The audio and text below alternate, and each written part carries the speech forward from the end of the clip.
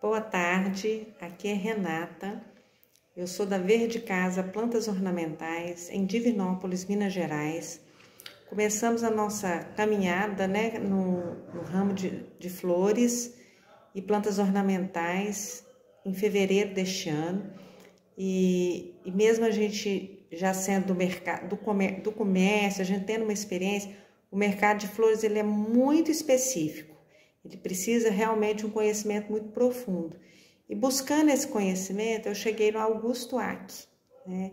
Então, lá na, através do blog dele, do site, eu tive, vi muitos vídeos, fiquei encantada com a desenvoltura com que ele coloca o negócio. E atrás dessa experiência, atrás desse conhecimento, nós começamos um processo com ele. Né? Estamos no início, abrindo a nossa mente para ver como funciona o mercado de flores. Eu indico.